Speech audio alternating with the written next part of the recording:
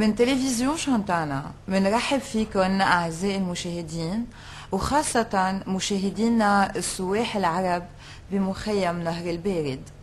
وبنقلكم أهلا وسهلا فيكم بالتوب 6 لشهر أيار. توب 6 لهالشهر بيحتوي على عدد كبير من الأغاني الحلوة والمميزة. نتمنى أن تنال إعجابكم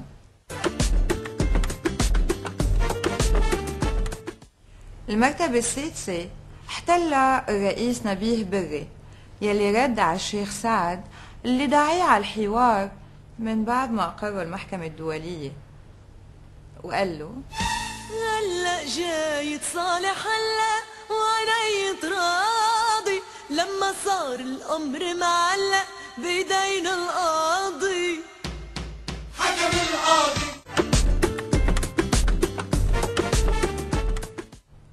أما المرتبة الخامسة فاحتلها السياسي المعجزة كارلوس إدي اللي كل ما بتركب معه جملة بالعربي بيتهجم فيها على الجنرال ميشيل عون. وبيتهم الجنرال بكل شي عم بيصير بالبلد. شخبط شخبط لخبط لخبط مسك الألوان ورسم على الحيط. المرتبة الرابعة احتلها الجنرال ميشيل عون اللي بعده عم بيتعرض لهجمات من الصغير والكبير بجماعة الأكترية. فتوجه الجنرال للشعب وقال له شوفوا الحقيقة فين ومين اللي ابتدى. آخرة صابر السنين أسمع من ده وده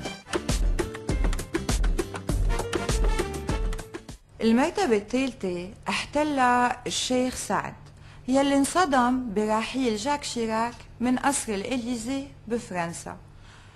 فبعت له وقال له يوم الوداع الحب ضاع ضاع والقلب آه آه آه حس بضياع يوم الوداع. أما المرتبة الثانية فاحتلها النايب وليد جنبلاط. اللي كل ما بيشوف وقام وهاب على التلفزيون بيقول له لما بشوفك قلبي بيوقع بيوقع مني صوتك صوتك لما بتحكي بيجنني أما المرتبة الأولى فحصلوا عليها بجدارة أبطال الجيش اللبناني. اللي عم بيضحوا بأرواحهم دفاعا عن أرض الوطن. خطة قدمكن على الأرض.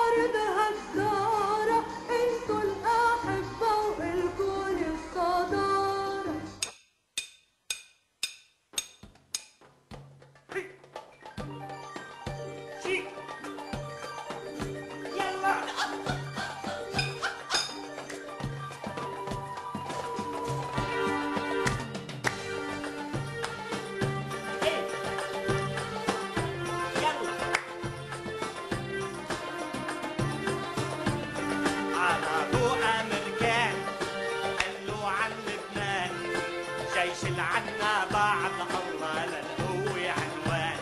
القوة الإرهابية مين فوتها علي مين دربها مين مولها وخلاها قوية